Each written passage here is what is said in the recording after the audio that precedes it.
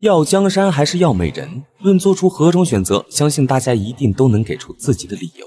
可如果有人说江山美人全不要，只求自由在身边，不知道大家是否会选择相信呢？实际上，很多人并不知晓的是，当初蒋介石之所以能够乘风而起，一跃成为黄埔军校校长，并逐渐走向中国权力巅峰，便是由于此人拒绝了黄埔军校校长的职务后，还拒绝迎娶宋美龄，这才让蒋介石有了后来居上的机会。此人便是谭延海。作为清末有名的名门望族，谭家在朝野的影响力都值得肯定。除去其祖父谭之衡曾担任清朝国子监生以外，其父谭中龄乃是在左宗棠收复新疆之际立下了汗马功劳的大臣。因此，就身份地位以及家庭环境来看，谭延海所倚靠的谭家这棵参天大树，足以让无数人羡慕不已。只不过外人不知道的是，家家都有本难念的经。庶出的谭延海在谭家内部并没有受到多少待见。除去下人们见面要礼敬三分之外，其父对他谈不上任何关怀和照顾。好在谭中林虽然封建守旧，但对待子女的教育问题上还是一视同仁的。都是自己的孩子，自然都要请一个老师来教导，也不存在开小灶的情况。就这样，在大学旧翁同苏的教导下，谭英凯对整个社会都有了自己的认知。当然，他的认知和其他人都有所不同，尤其是母亲和自己的亲身经历，让谭英凯开始反思。腐朽的封建社会制度下，连同一个家庭当中都做到不平等，更何况外界呢光鲜亮丽的权贵家庭下，是对所有穷苦老百姓的压榨后得来。这样的社会，人们为什么还要支持他的存在呢？以父亲为首的封建守旧，又究竟在守些什么？是所谓的礼仪，所谓教化，还是单纯的所谓利益呢？谭英凯提出了问题，却始终没能找到解决问题的答案。一直到孙中山先生的出现，才终于让谭英凯看到了希望。时间来到了一九一一年十月十日，武昌起义爆发。可新生的政权中，守旧派和革命派又开始吵了起来。韩延还很疑惑，他们究竟在吵什么，又在争什么呢？尽管他早就考取了清朝的进士，并长期致力于新政的推行，却还是没有搞懂为什么要将时间浪费在这种事情上面。当然，用没有搞懂来形容并不准确。谭延闿不过是希望大家将精力都放在正事上。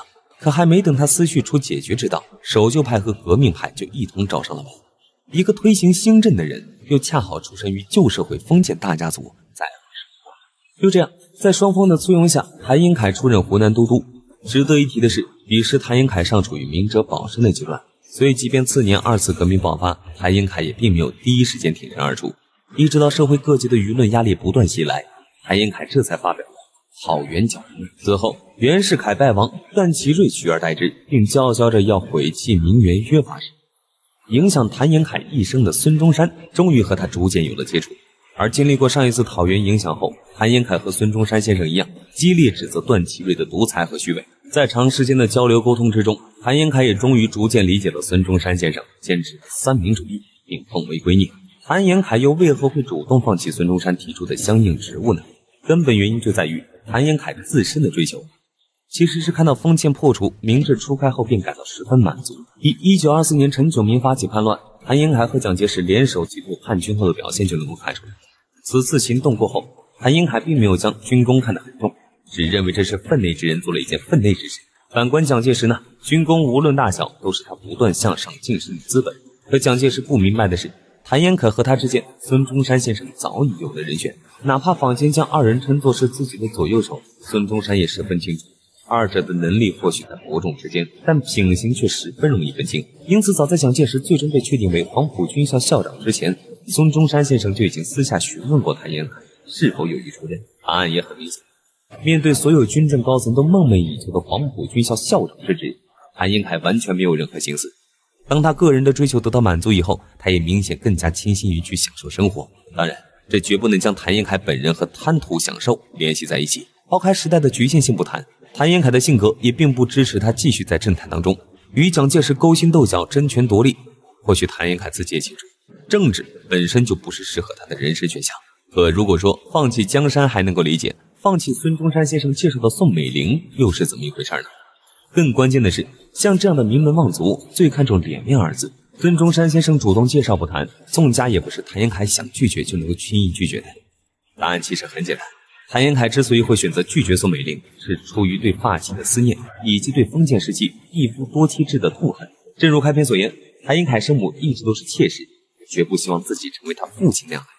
至于如何妥善处理和孙中山以及宋家之家的关系呢？谭延闿很聪明，在对方尚未挑明意思之前，他就主动上门拜访宋家，并希望自己能够成为宋老太太的义子，是吧？大家都是聪明人，眼见谭延凯已经做到这一步了，宋家自然也不会为难于他。值得一提的是，后续蒋介石对宋美龄发起追求时，韩延凯还曾在一旁给了助攻。在他的介绍和引荐下，蒋介石这才得以获取宋家的公主。